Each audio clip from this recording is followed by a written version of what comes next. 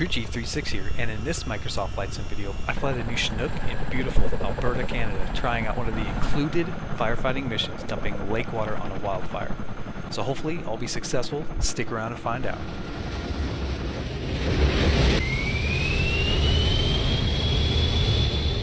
Alright, so our uh, mission is active down here. We're going to go ahead and uh, load the buckets.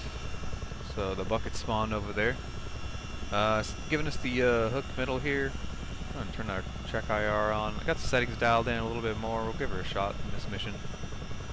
Alright, so we're set to mid. Uh, see here. Yep, parking brakes off. And we'll go and uh, take off and pick up this bucket.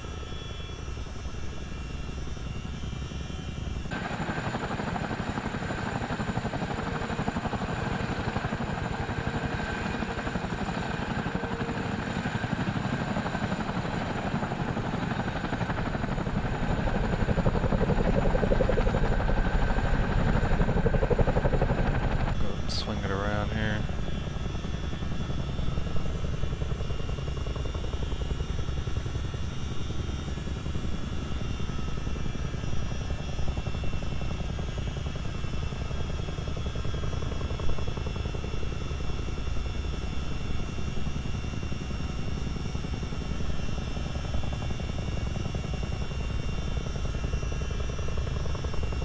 Try to creep it in here. It's always tricky picking these things up.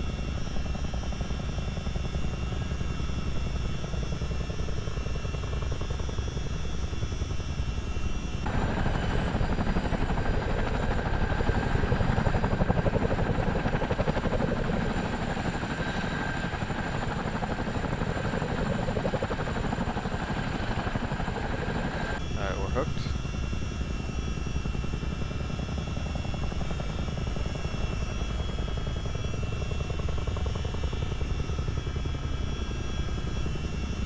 Uh, so this uh, seems to be susceptible to some uh, high speed, so we'll uh, make sure we don't overspeed this and get, you know, lose our basket. So we're flying uh, 267 heading. We already have everything programmed to do our head held GPS down there.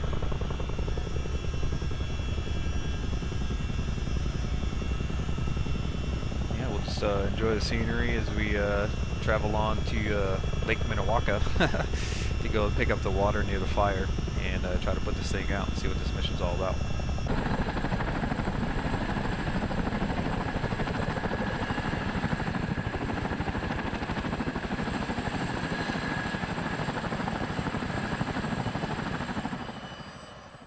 Alright, well we're approaching Ghost Lake up here in front of us, which is a part of the uh, Bow River. And uh, we'll travel that up to the left up here, up uh, to Canmore Valley. And then uh, once we uh, get near Banff Airfield, the fires should be visible to the north of the airfield.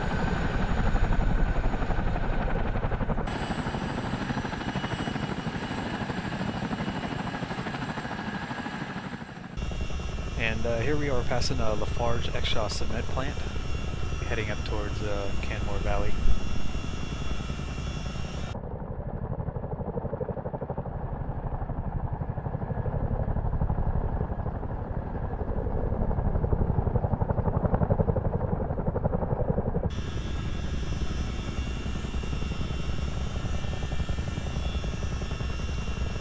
Oh, I have visual on the fire. There it is on the mountain right there. Alright. That's pretty cool.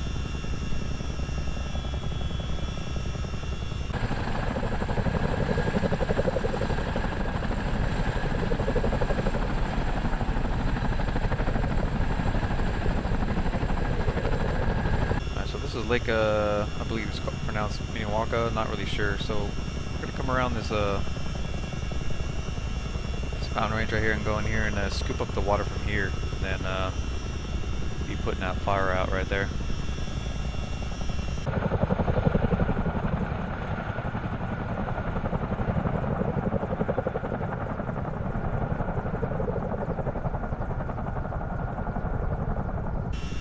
Alright, so we're gonna attempt to pick up some water from the lake here. So it says you pretty much have to hover around three seconds. Um, maybe like 20 to 40 feet off the ground, or off the water. So we will attempt to do this.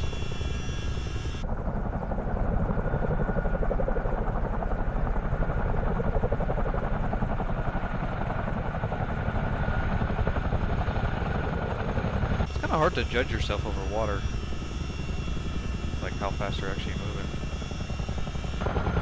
Alright, let's try to dip this bucket into the lake here and fill her up.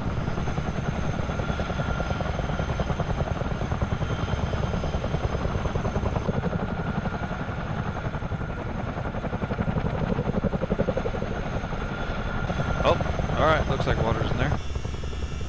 It doesn't really give you a uh, notification in the cockpit here at all.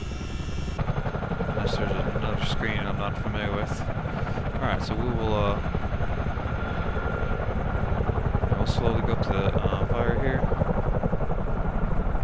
Make sure we don't make any aggressive moves. A little bit of rudder to rotate this thing around. So now in the manual it said, um, you have to be uh, below 20 knots in order for the water to automatically dump when you're over the fire. So uh, yeah, we'll make our way up to the mountain up there and uh, try to put these fires out.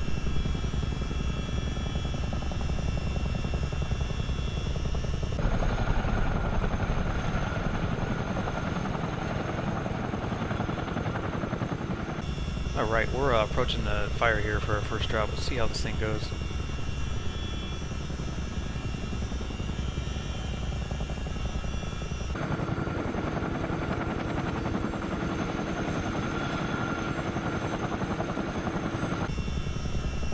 Just trying to get her all lined up and try to maintain uh, right around 20 knots here.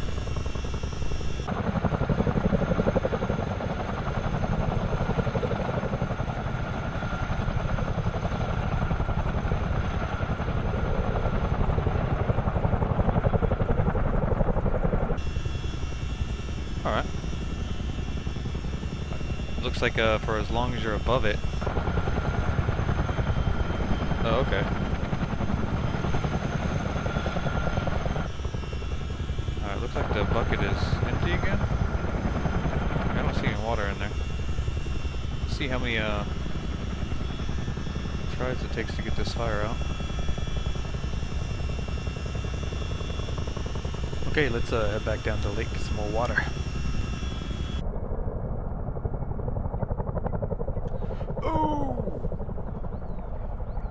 I lost uh, track of how far I was dropping, but it looks like we uh, successfully got some water out there. Oh man, it's always hard to judge yourself over the water.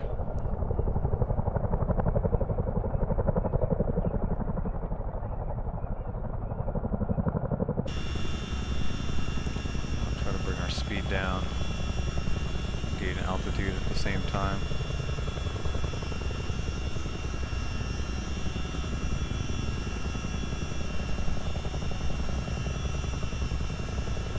Down around 50 knots now. Just line up the fire. Sit around 20 knots. Is don't know. I feel like that's kind of slow, but that's what the manual says. Down around 40 knots, 35.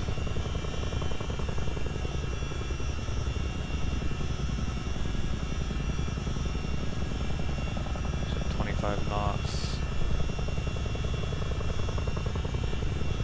There's 20 knots right there.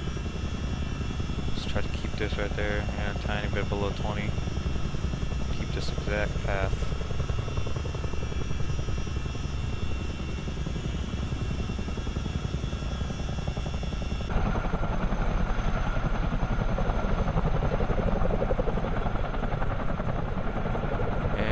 And it looks like we successfully put that fire out actually.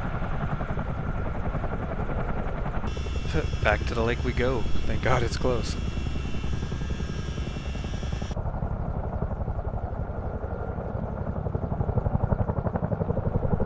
Oh yeah, much better. I'd add some collective in.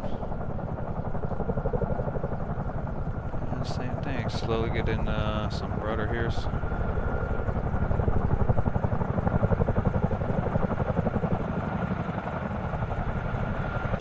Okay, let's put this little guy out. Let's uh, get her down here around uh, 20 knots here. That's where you got to keep it, you know, within uh, 400 feet above the ground as well.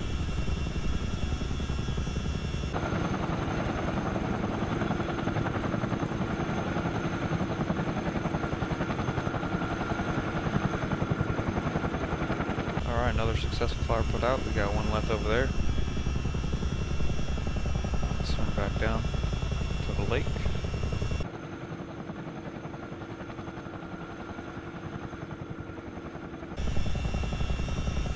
Ah, there it goes. So when you go too fast, it'll uh, break the sling. And uh, yeah, we're going up around 120, 140.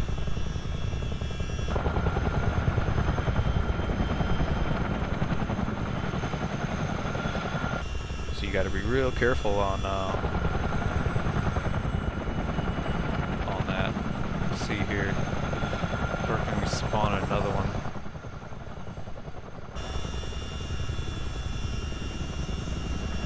Just try to land down here and spawn one.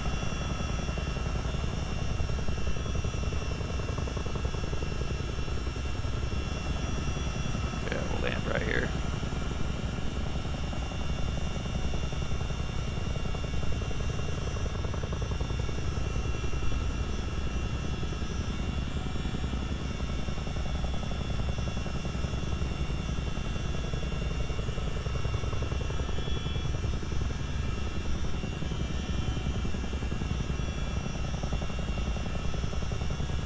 It spawns to the left of you when you spawn it in, so you know, give yourself a little bit of room. Nice rolling landing on the brakes.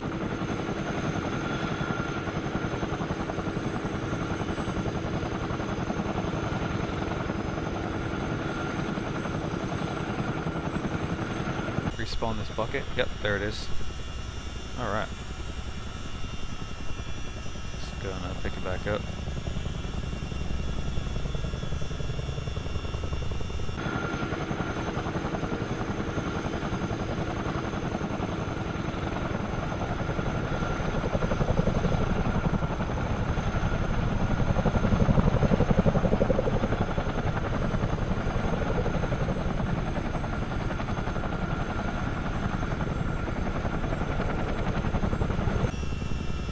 There's the basket there.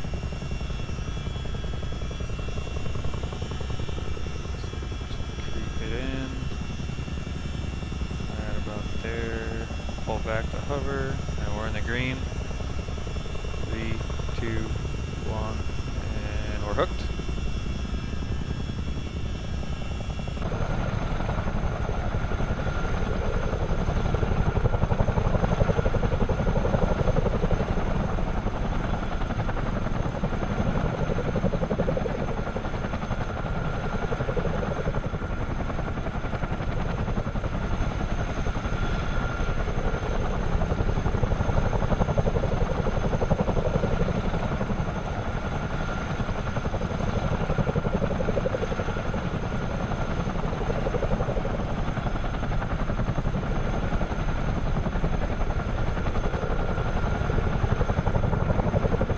There we go.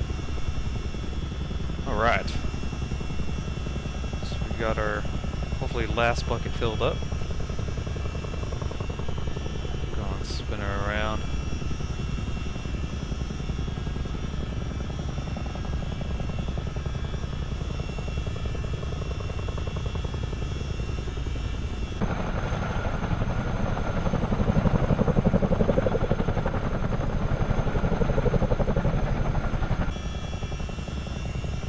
Okay, let's uh, line up for this last little fire here. Put this thing out. Okay, we're at 50 knots now. Let's try to bring our airspeed down.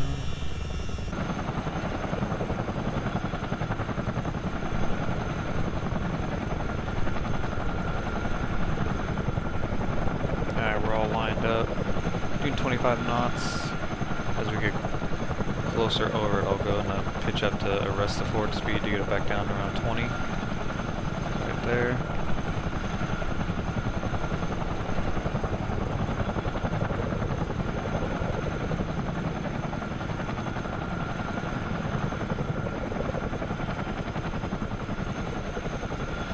And uh, that little hotspot has been extinguished. Okay, a little bit of left rudder here, spin this thing around.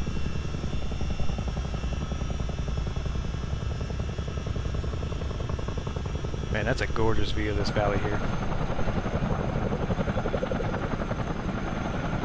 Awesome. Mission 1 is a success here in uh, Alberta, Canada, near the uh, town of Banff. Looks like we uh, extinguished all the fires here. And uh, I'm not going to bore you with the flight back, so uh, I hope you enjoyed watching me put these fires out in the Chinook. And uh, like if you did, subscribe if you haven't. Come and be my virtual wingman. Later.